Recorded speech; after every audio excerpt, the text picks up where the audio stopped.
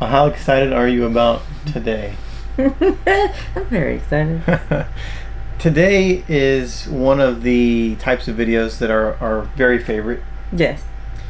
Um, if you've been with us for a while, you know that a portion of everything that we earn through all of our social Mhm. media platforms, we donate to local veteran organizations. Yep. If you want to see the breakdown and exactly how much, what percentage of each platform goes, um, I'll leave a link up here for the, the video that actually breaks all that down. But today we're in Brooksville, Florida, and we're going to be going over to the Veterans Heat Factory. Yep. And we'll tell you all about that with the uh, with the founder Gus Mm-hmm. uh, coming up here in a bit. Um, but we wanted to talk to you a little bit before the main part of the video starts because, you know, at the end of all of our videos, we honor a fallen hero, and today's is going to be different Yes. than it has ever been before. Mm-hmm. Uh, very unique in a couple of different ways. And appropriate for the organization we're visiting today. Exactly. So it, it lines up, the story of this fallen hero lines up with the mission of the place that we're making the Yes. donation to.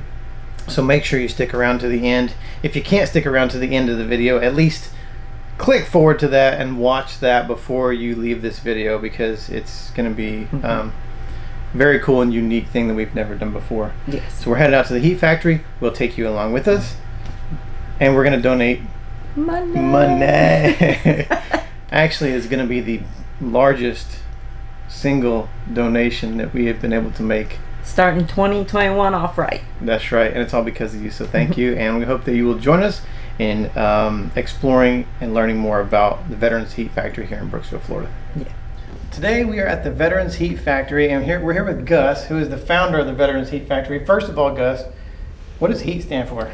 HEAT is an acronym for honoring, empowering, assisting, and training. Well, like we do about every once every three months, we try to find a local veteran organization that we can donate to, thanks to you who watch us, and provide us with a little bit of income to give away to veteran organizations. Um, Gus, tell us a little bit about the Heat Factory and how it got started. Well, first of all, thank you very much for coming by. Thank, Thank you very much for coming Thank by. Thank you for having us. Uh, it's a long story. I'll try to cut it down as All short as possible. When I was 60 years old, that was six years ago, I was in prayer thanking God for where I was and looking for another thing that I could do to help my community. And I didn't serve, not that I didn't want to serve. I wanted to go into the Navy. They didn't want me because I was colorblind. oh, So, uh, in prayer, I heard God tell me, it always bothered you that you never served, serve those who served your country. I said to myself, I didn't talk this way, but this is what, what came out. Was, if there's a veteran up there and the veteran has a dog and the dog poops and I pick up that poop, I'm helping the veteran. That's where I'm going to start. gotta start somewhere. Gotta Yeah. start somewhere. That's right. So I went up there, and lo and behold, it's amazing how he works in mysterious ways. The professor that was up there was somebody I knew 25 years ago or something like that. Wow. You weren't a professor. I wasn't doing what I was Just a doing, mom. yeah. Then, of course, we caught up, and then she started telling me about the 22 a day that killed themselves, the drugs, the alcohol. Yeah. This is what it wants me to do. How can I help you? And it says, uh, the dog trainer says, well, we need two things. We need a place to be, because we're outside in the woods, and we need money. I said, well, I don't have the kind of money to make a difference, Yeah. but I sit on a lot of boards, and I know a lot of people that have space. I could find you something. Well, it turned out that three weeks later, and a week before that, I couldn't find the place Yeah. and I couldn't go back and say I was a failure. So where the camera is was my silk screening machines Yes. and embroidery over there and something else over there. And I says, you know what? It's because veterans um, was out free enough to do something like this. Yeah. I don't know where we're going to go from here, but they're coming in here. And I cleaned it out, and it became Canine Partners for Patriots. Wow. Yeah. Uh, this can't stop. Hey, Diane. Yeah. We need to take it to the next level. Yeah. So speaking of which, Yep. introduce us to Diane. Diane Coogan is our uh, professor from St. Leo. She's in charge of our mental health program. he called me and said, What do you think about doing something like this? Which started out with exercise because Okay. we knew it helped them, but it Yep. was also a way to get them in here because Yeah, it's get strength 'em in the based. door. Yeah. Right, exactly. And then from there, we started doing a weekly group where we addressed topics that they needed to become a civilian or to deal with life. And that went very well. In fact, they would repeat them because they didn't want to leave. So we would talk about um, what is PTSD and managing anxiety and sleep, uh, hygiene, um, Mm-hmm. moral injury, you know, all sorts of different topics. And it was helping. Um, Yeah. They were starting to lose their anger. And part of it too was the um, atmosphere here. Yeah, I, I actually, I have trouble with integrating well with people that I don't know initially. But walking in here today, I felt, I felt very comfortable walking in here. Everyone was very welcoming and very uh, courteous. And I like the way that you've set up the, the counseling uh, areas because, what is it, what, five rooms Yep. over here? Yeah. They are open to the bigger area, so you don't feel like you're you're closed in. The seating is arranged to where the veteran doesn't feel like they have their back to the door. They don't feel like they're trapped in a small space and confined. Uh, it feels very inviting. The decor looks like a home more than uh, more than like a counselor's office. Because trust me, I've been in several counselors' offices, and it, I know what a counselor's office feels like. it doesn't feel like that. And then you've also got the gym in the back, Right. which you said was mostly A lot of it I picked up at uh, garage sales. A lot Yeah, of it we put awesome. pieces together. Yeah. Uh, we, we've been on a shoestring budget for Yeah. four years now. Yeah. Yeah. But we've had comments even from trainers who come in here and say, this is a really nice Nice gym. gym. They It weren't is. expecting It's it. Yeah, Beautiful. it is very nice. Yeah, and so the majority of the people who who work here are either volunteers. No, everybody is. Everybody's volunteers. Everybody's volunteering. Everybody's volunteering their Yep. 100% of their time. Yep. And how do you get your funding to to keep it going? Mostly by her left pocket and my right pocket. Exactly. Uh, the money's not coming in. It's, Yeah. it's just not coming in, so we have to do what we have to do. Yeah. Most of the counselors take their own furniture from the house and bring it Wow. in there and, you know. And we also, these counselors were earning clinical hours. uh, And when Yeah. they, some of them finished their clinical hours last August, and here they are still Wow. today. So it, once you're here, it's very hard to leave. To walk away Yeah. from, Yeah. yeah. And I tell them, you will never see healing like this other places, so Yeah. please don't Yeah. think you will, because part of that, um, what you were talking about, that vibe, Yeah. is healing. Yeah. I And it mean, is a family atmosphere. Mhm. Yeah.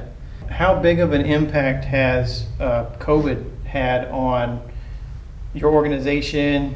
And I know it probably had an impact on, on how much uh, donation money you're getting from the community Mm-hmm. and how much, you know, people that were volunteering time can't because they got to go make some money. Yeah. So how hard have you been hit by that? Very hard, extremely Yeah. hard. Uh, And, you know, somehow we work it out with the monies, but the, the veterans, I think it's harder on them, as you know. The- Yeah. The, uh, the stress of COVID and not being able to come here, and some of them don't like doing virtual, and. Yeah. uh, Now, what I found unique about this organization is, and we were talking a little bit about this earlier off camera, was um, it's a one-stop shop for veterans because the navigating all of these systems can be so frustrating for a veteran when you're talking about trying to find a job or trying to get back in school or trying to file for your your benefits or even just trying to navigate your relationship with your spouse and your family a veteran can come into here and get all that help from all these different resources in one spot.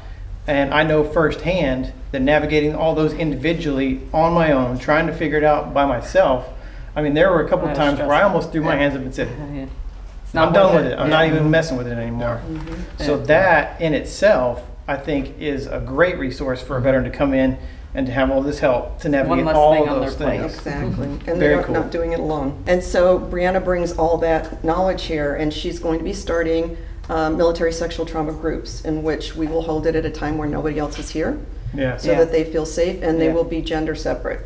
So, That's very Nice. cool, and that's something that not a lot of people are, Yeah, are dealing with or or confronting is the sexual assault and those types of PTSD issues because that happens a lot in the military, and we don't really talk about that a lot. We talk about combat-related Yeah. PTSD, but sexual assault, sexual harassment is is a big deal. It's it big happens deal. a lot in the military, and I think because it's not a very um, palatable subject, we kind of just don't talk about Brush it as it much. Right, Yeah. right.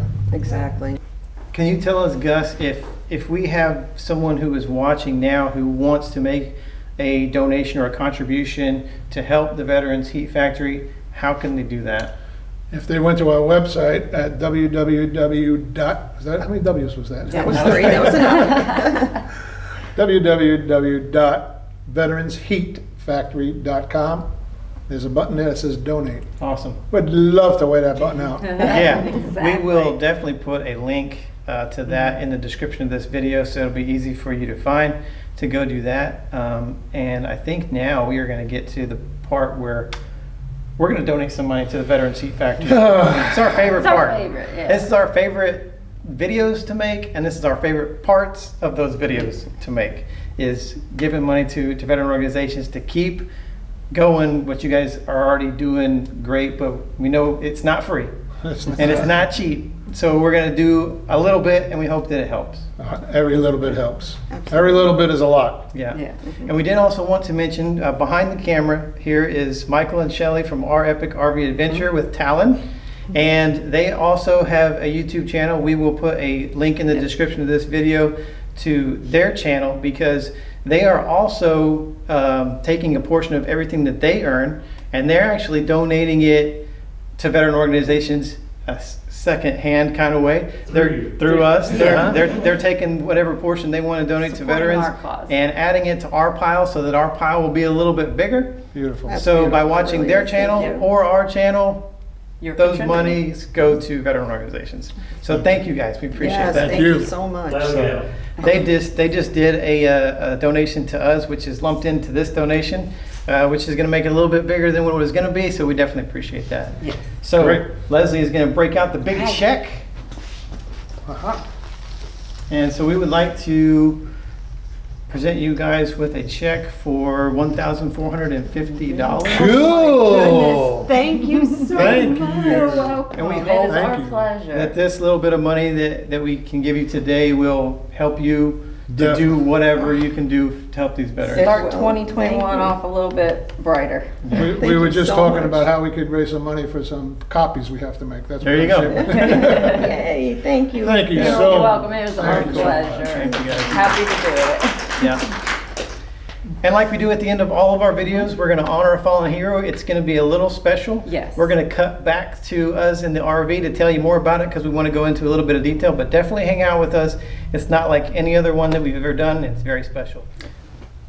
Normally, at the end of all of our videos, when we honor a fallen hero, it cuts straight to the slideshow and the music. Yes. Shows a little bit about the hero, and then the video is over.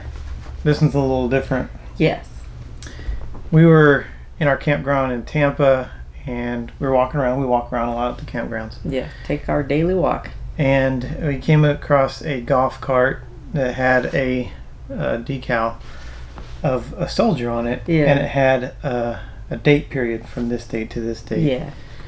And uh, so we knew that the soldier was no longer with us. Um, and at first I just assumed that it was combat related. Com- yeah. That's where our heads usually just go. So we stopped and talked to the lady that was there, uh, whose name is Lynn. Mm-hmm. Turns out it was the soldier's mother, and the soldier uh, did not die in combat. Um, and we chose, Not overseas combat, internal combat. yeah, we chose we chose to honor him today, uh, in conjunction with this donation video because of all the work that the Veterans Heat Factory are doing Yeah. with service members and PTSD and after service members get out of the military. And um, so Ricardo, Ricky, as his mother called him, Acosta, um, lost his battle with PTSD. Um, we talked about it in during the interview with Gus and his staff today. Yeah. That 22 veterans commit suicide every day, and before I went to combat, I did not understand suicide. No. I, I felt like it was the most Well, selfish act Yeah, that you stated that before. that you could do. I felt like you are relieving yourself of the pain and passing that pain to everyone who loves you. Yeah. Mm-hmm. After going to combat, I understand it better now. Yeah. Because in the mind of the person who is suffering from PTSD, they are causing their family and their friends and their loved ones pain. Mm-hmm. In their mind, they feel like they are a hindrance Yeah. to society. Um, they cannot manage their emotions. Mm-hmm. Sometimes they can't find work, Yeah. can't get through school, have trouble with relationships, fight with their spouse, sometimes physically, mentally. Um, and especially when you have a, a, a PTSD moment and you're not inside your own body and you Yeah. cause harm to your family or friends or loved ones, you really feel like That would be best for everybody. exactly you and so actually it's the opposite of what I just said. Yes. The service member who's now suffering with PTSD now feels like it's the most selfless thing that they can do. Yeah. That's how it's rationalized. And so, in their mind, it's best for everyone. Yes. And in that moment, it makes sense to them. Mm-hmm. And in that moment, they make that decision Yeah. to take their own life. So I understand it better now. Mm-hmm. I wish that Ricky had been able to find a place like the Veterans Heat Factory because I think they're saving lives. Mm-hmm. Um, the reason that we cut back to to this setting is because uh, I didn't know how well I was going to get through this, and I didn't want to have a moment in front of everybody Mm-hmm. there at the Veterans Heat Factory. So I figured well, we'll come back here and we'll talk about it and and actually uh, doing better than I thought I was going to do Mhm. because I have had I've had friends, I've had brothers in arms, sisters in arms Yes. who lost their fight. Yeah. You've had those late night calls with people. I've had to talk people off the ledge. Mhm. and so I get it now. So uh, I just wanted to share that with you, so that if you are in the same mindset that I used to be in, that suicide is a selfish Mhm. act, um, to a regular person that seems logical, Yeah. but to those of us who suffer with PTSD, uh, it is the exact opposite Mm-hmm. the feeling is that I'm I am sacrificing just like they would go downrange Downrange. Yes. uh, Exactly. into a combat zone and risk their life for the freedom and happiness of their family. They now feel like they are giving their life up for the freedom and the happiness of their family. Exactly. So, um, believe what you want about suicide, but the truth is that there is a a, a big problem in the United States with, with veteran suicide, um, and it's one of the, one of the reasons that we started doing these donations Yes. is to help organizations that can reach out to these service members that can help them to not be a statistic. Yes. So we are going to leave a link in the description of this video um, to a hotline. So if you are having issues, if you know someone who is having issues, if you need to talk to someone, reach out to somebody, talk to somebody, family, friend. I know in your mind it's it's it's the way to, to relieve everybody's pain, but there are other ways, and you can get past this. Uh, a lot And of there are wonderful people out there yeah, want, who want to who want to help take that pain away. Yeah. So don't suffer in silence. Don't suffer alone. Somebody loves you.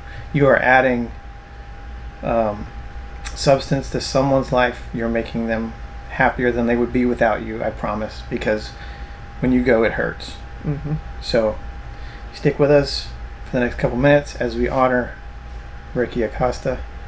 And uh, we appreciate you watching. See you next time. Bye.